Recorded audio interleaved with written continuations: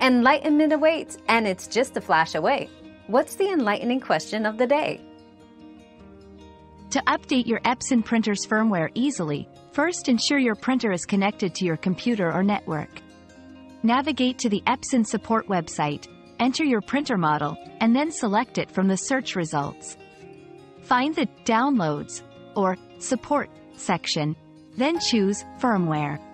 Click Download next to the most recent firmware update, then run the installer and follow the on-screen instructions. Always ensure your printer is turned on and connected during the update process. This method will keep your printer running with the latest enhancements and fixes. Our quest for knowledge never ends.